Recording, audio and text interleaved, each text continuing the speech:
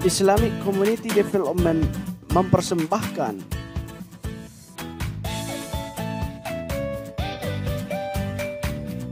Jangan lupa subscribe ya. Like, comment, and share.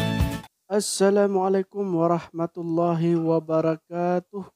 Jumpa lagi bersama saya dalam channel ini. Kali ini kita akan membicarakan bagaimana caranya membaca artikel internasional seperti layaknya membaca koran atau seperti membaca berita online di pagi hari ditemani secangkir kopi.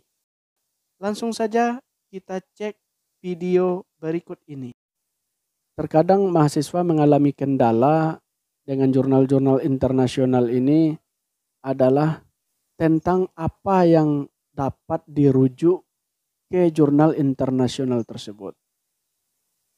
Nah, untuk menjawab ini, maka yang perlu diperhatikan adalah hal-hal yang bisa kita rujuk ke dalam jurnal internasional itu. Yang pertama adalah kata, misalkan uh, tentang diskursus. Maka kata diskursus itu kita ambil dari salah satu jurnal internasional atau katakanlah tentang pendekatan pembangunan top down. Buka jurnal internasional yang saya sebutkan tadi, lalu ketikkan di pencariannya itu top down. Nanti akan muncul artikel-artikel yang membahas tentang top down biasanya dalam pencarian itu nanti baik ditemukan di dalam judul dan juga bisa ditemukan di dalam narasi teks artikel tersebut. Kalau sudah keluar hasil pencarian seperti itu, kita dengan gampang tinggal mengambil ya, tinggal mengambil artikelnya. Kalau yang open access bisa kita download full. Kalau dia yang berbayar, ini sekurang-kurangnya bisa kita ambil uh, kita copy paste uh, abstraknya. Jadi di dalam ab abstrak itu sudah terbayang uh, riset mereka itu seperti apa. Namun kalau untuk mendapatkan pemahaman secara komprehensif memang harus kita miliki artikelnya secara utuh. Tetapi karena biayanya yang mahal, maka itu tidak memungkinkan. Kemudian perlu juga untuk mengatasi uh, translate proses translate dari bahasa asing ketika kita merujuk ke artikel-artikel internasional tadi. Pertama, tentu kita bisa membuka jurnal-jurnal yang uh, katakanlah berbahasa Inggris itu dengan menggunakan Google Chrome. Jadi kelebihan Google Chrome itu daripada Mozilla Firefox itu dia bisa mentranslate secara otomatis. Saya contohkan kita buka salah satu jurnal misalnya. Ini tentang jurnal community development. Nah, ini tinggal kita membuka halaman jurnalnya. Ini klik di sini. Setelah diklik, tunggu prosesnya maka akan keluar hasil seperti ini. Ini jurnal sudah di halaman aslinya, URL-nya sudah di uh, Oxford. Ya. Kita ambil salah satu dari isunya di sini volume 56 isu keempat untuk dosen dan mahasiswa yang kesulitan memahami bahasa Inggris secara langsung maka kelebihan dari Google Chrome ini kita bisa mentranslate-nya. Nah, ini contohnya salah satu kita lihat uh, abstraknya bagaimana.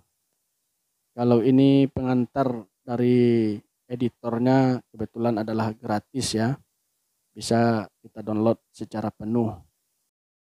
Sekarang kita mencoba untuk mentranslate secara langsung di website ini,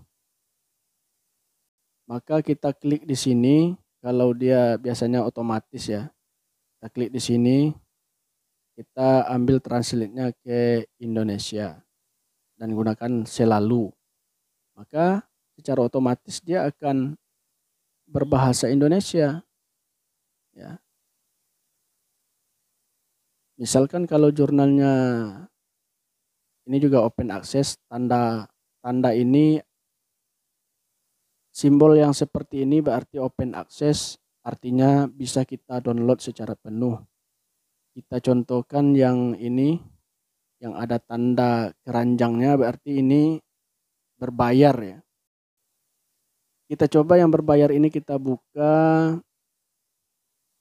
maka dia akan muncul laman khususnya yang akan menampilkan abstraknya dan sudah berbahasa Indonesia secara otomatis. Kalau tanda halaman terjemah ini tidak keluar, maka kita bisa mencarinya di paling kiri ini. Nanti ambil terjemahkan. Ya. Nah, biasanya kalau tidak keluar di sini, maka di sini akan ada uh, perintah untuk terjemahkan halaman ini. Dan kebetulan ini sudah ya, sudah muncul di sini. Oke, itulah cara untuk bagaimana kita bisa merujuk artikel-artikel internasional. Kan lumayan ya daripada kita tidak memiliki rujukan dari jurnal internasional bereputasi. Dengan cara ini, walaupun kita tidak bisa memiliki artikelnya secara utuh dan penuh, tetapi kita sudah bisa merujuk. Tentunya kalau kita menulis kasus tentang COVID misalnya ya, ini juga sudah ada ini di sini artikelnya tentang COVID. Artinya ini salah satu artikel yang bisa kita jadikan rujukan kita. Dan rujukan kita tidak sembarangan. Dari artikel jurnal ilmiah bereputasi internasional. Bayangkan kalau mahasiswa mampu menulis makalah, artikel ilmiah, dan skripsinya, itu rujukan-rujukannya itu didominasi oleh artikel internasional. Alangkah luar biasanya mahasiswa tersebut. Apalagi itu dilakukan oleh mahasiswa sarjana tingkat S1 ya. Maka ini hal yang luar biasa. Ya nggak apa-apa. Mahasiswa lebih cerdas daripada dosen itu biasa-biasa saja. Karena di dalam keterbukaan informasi dengan sistem open access saat ini didukung dengan teknologi dan juga jurnal-jurnal ilmiah di online kan, maka tidak menutup kemungkinan mahasiswa yang memang dia itu biasanya kutu buku, sekarang kutu jurnal. Hanya dengan menggunakan handphone, Android, itu jangan bermain media sosial saja, tetapi gunakan untuk mengakses jurnal-jurnal internasional. Ya, kita bisa sambil santai diselingi bacaan kita itu bacaannya jurnal internasional.